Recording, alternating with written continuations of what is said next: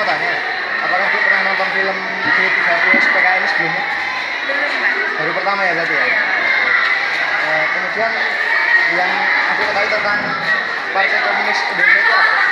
partai komunis Indonesia eh, termasuk partai yang dilarang di Indonesia karena itu bertentangan dengan ideologi Pancasila Kemudian bagaimana tanggapan